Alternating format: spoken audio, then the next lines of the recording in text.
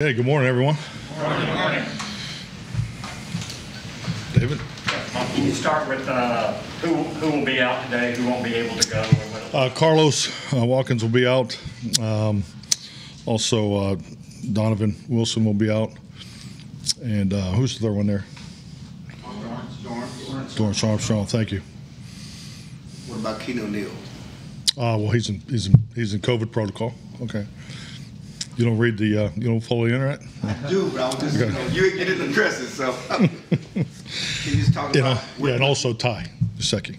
He's in, oh, yeah. He's out. He's out. Yes. Yeah. Can you, the Neal situation, uh, is it different than the past? Is there a chance he could play because he didn't test positive? Yeah, I mean, there's definitely a chance. You know, you know, based on the protocol, and there's obviously different variations of it. But he's he's he's in it right now, and and as the testing progresses, you know, we'll we'll see, we'll see what day he comes out. With Nsekhe, uh, what's his status going forward? He's still doing more tests, see what happens? Yeah, he's. I mean, it's an illness, so uh, he will not be available this week. What about Amari Cooper? Uh, Mar- Mario will be limited. When, when you look at this Philly de- defense, how different is it from the one that you've been kind of accustomed to seeing over the years with what Schwartz had things? I mean, there's definitely some, you know, characteristics that are the same. Um, you know, obviously the personnel, um, you know, they were in the same system for a while, so you can see the carryover, particularly up front, you know, with the charges and, and the stances. But uh, there's been, you know, there's only two games, so we, we've seen a little more variation in the Atlanta game uh, than we did against against San Francisco. So, you know, we're we're still in the unscouted look focus. Uh, being this early in the season, bless you. Uh, we recognize it's a. Uh, we, rec- we recognize that you only get one. Right, right. So, yeah. Okay. But uh, we, we do, you know, recognize it's a new staff and you know, and a new defensive coordinator, and uh, just trying to continue just to look at you know his past and you know just try to make sure we're expecting the unexpected. Get back to Dorance and, and uh, Carlos. I mean, this is unbelievable. I, I, oh my God. This is not unbelievable. Oh, is this oh, is this normal? Yeah. Oh. Well, Rich, now, now I know why Rich wants to go back to virtual. Yeah. Get back to Dorance and uh, Carlos. Uh, Dorance has a high ankle sprain. I mean, it's unlikely. Is that correct? And, and just, that's not Yeah. one day, I mean, one week thing, is it? Well, they won't be they won't be available this week. You know, both Dorance and Carlos, but uh, but they're doing well. I, I just saw uh, Carlos in the weight room, so uh, he, he feels good and he's making progress. So with Dorance out, does that mean more in for Micah? I'm not going to really get into that. I mean, you know, we there's be more opportunities. You know, it's playing different combinations. I think really the true focus is, you know, this offense is different than the first two teams we played. I mean, this this offense is about speed and space. Uh, you know, their offensive line is. You know, just had that one injury uh, last week, but uh, you know this is the healthiest they've been uh, in, in some time. So, you know, big athletic offensive line with uh, five perimeter perimeter players that can that can really really go. So we're really focused on speed and space and, and what we need to do to, to combat that. How much will you look at the two practice squad guys to move up because you got some D-line issues health wise? I mean, that's all part of it. You know, I'm not, you know, I'm just respectful. I, I really don't want to get into specifics of that. Um, you know, we're going to, uh, that's the, the beauty of uh, this new roster, you know, uh, setup. It gives you the ability to move guys up. And uh, so, you know, you have potentially a COVID, you know, exempt also. So, I mean, all those things factor into it. But, you know, you have a projected 48 each week, uh, but you never just work 48 players. You know, so you, you, usually work in this in a range of 54 to 55, and so we'll see how it shakes out. We've always asked, we've asked you before about Micah's versatility and, and what that gives you. But it, do you also want to avoid to some extent of basing your decision based on injuries at other positions every week? I mean, I know you're looking at matchups and sometimes that over, that, that dictates what you do. Do you want to stay away from that where it's always, well, here's the guy that's hurt, so maybe we can move him here?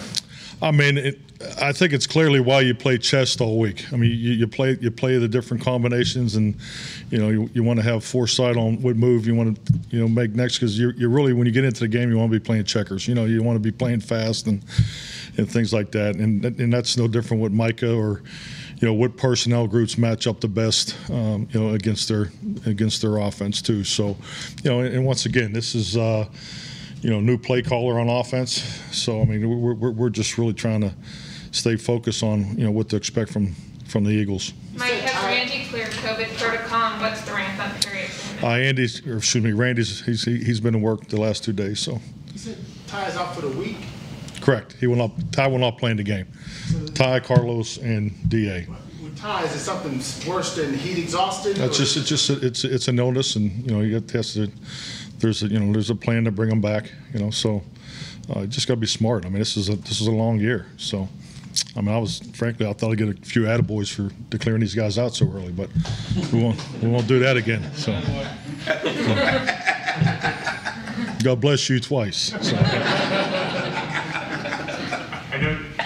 I know, I, I know you've moved on to the next game. There was one play, But right, it, but there's one play from Sunday I want to ask you about.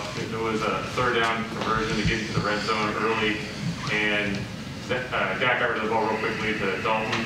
Um, And Zack Martin, he blocked one one defensive lineman with his left hand, and he blocked another with his right. I, I was, just- it seemed like something for the Hall of Fame reel for him. I was just curious your impressions of that particular play with, with Zack's effort.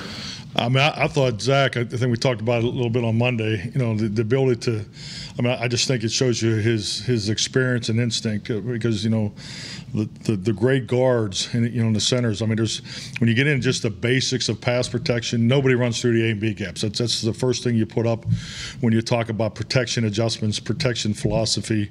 So I mean, but it's one thing to say it, rep it, and then you know, obviously execute it on Sundays. So, I mean, I, I thought he played you know one of the better games that I've been a part of. You know, just being here with him. Uh, but I just think it shows you his you know his level of ex- instinct and awareness, but also the ability to get it done. Is that rare? It's not common, that's for sure. Yeah. Mike, do you think Schultz is more physical than he was last year, playing more physically? Oh, I, I, I, I like the I love the question because I think you're recognizing how he's playing. I, I think he you know clearly had probably one of his best run blocking games. You know, I think just you know he, he's, playing with such aggressiveness with his technique. Uh, Dalton approaches the game like a quarterback. Uh, you know, he's he puts a tremendous amount of time. Him and Blaker, you know, they're upstairs all the time uh, in the coach's office. So I just think you're you're watching a, a true pro execute. So clearly, I think his his technique and fundamentals is, is, is much better than it was last year. What's been most uh, encouraging about Osa's development through the first two years? Well, I mean, he's jumped out. You know, I mean, he was. You know, I, I thought Chauncey Golston was. You know, coming out of the spring was probably the most impressive of the young linemen, and then I thought Osa jumped out there in in training camp, and it just keeps progression. I I, I really like the, obviously the ability and. And what he brings to the table, but the, the young professionalism is, is something that's uh, I've been impressed with, and so far with our guys, and they need to continue to build off. And I think Osa is a clear example of that.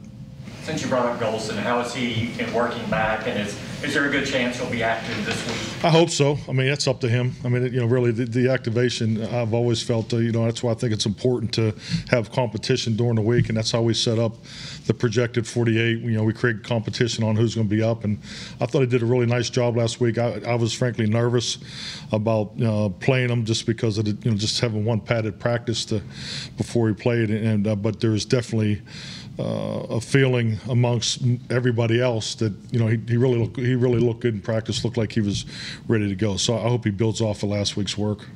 Mike, going back to the draft night when you guys took Micah, when the corners go off the board like that, is there any sense of disappointment or is it automatically, okay? Well, I think it's yeah. Clearly, I think we we you can see why. I mean, uh, you're talking about an impact player, and that, that's that's really what was the the common uh, theme in the draft room. You know, he's a he's an impact player that has you know position flexibility. So and and he's he's been exactly that for us. So.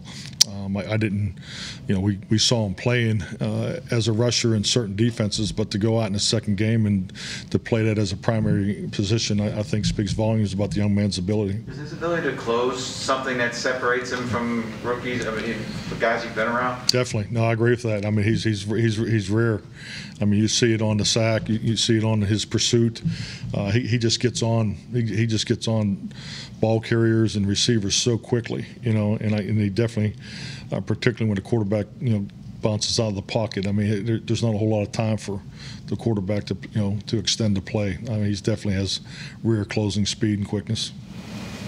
Mike, your thoughts on Jalen Hurts, the first couple of games you've seen compared to when you Yeah, I think he's, you know, if I was doing the, you know, evaluation from year one to year two, I, I think he's definitely taking that second year jump. I, I think he's looked very composed. Jalen's totally commanded our offense. I know it's a new system for him, but, um, you know, he looks a lot more comfortable in the pocket. You know, I thought he hit some really nice deep throws against San Francisco, uh, but he's a weapon. I mean, he gets he gets outside the pocket. He's productive, uh, but his eyes are still downfield, and, and I think that's something you always look for, particularly in young quarterbacks. So um, I, I think he's off to a really good start. Um, I think his statistics speak for themselves, but uh, I've been impressed with him the first two games.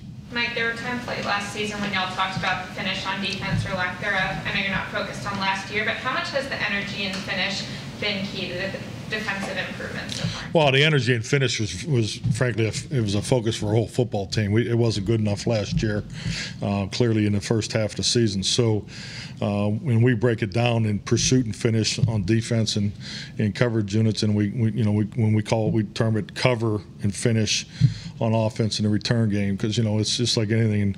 The cover and finish, uh, you know, you got one guy that carries the ball, the other ten they need to cover the football. So, you know, so much about this this league is is built on the ball security and you know securing the football when you have it, but you know securing it when you don't. And uh, I'd like to stand up and think that we're never going to have a, a, a turnover or you know we're never going to fumble the ball. But you know it's just like the one that happened against the Chargers. You know Tyron just to, to get right on that football that, that was that was a big play in the game. And so uh, finish is uh, something that. I'm sure every coach has his method, uh, his verbiage, you know, his met, you know, how he goes about it. Uh, so that that's been a focus of ours, and, and we're off, we're off to a good start. I, I, didn't think it was great in training camp. I thought it was up and down, um, but you know, weeks one and two, I, we, we definitely have checked that box. So we're, we're off to a good start this year. What's the key to keeping that good start and building off?